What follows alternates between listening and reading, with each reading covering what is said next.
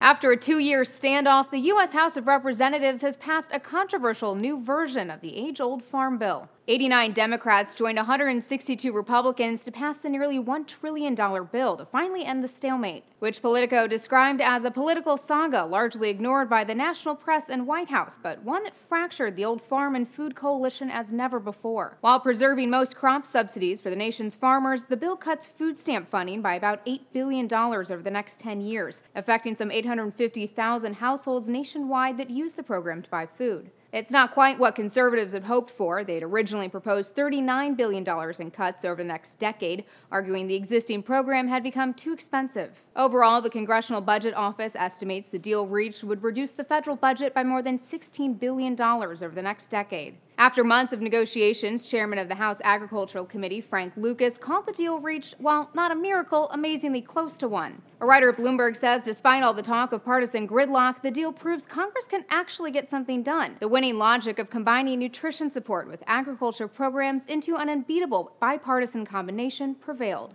The House bill now goes to the Senate, where it's expected to get final approval before heading to the president's desk. For Newsy, I'm Elizabeth Hagedorn, multiple sources, a broader view.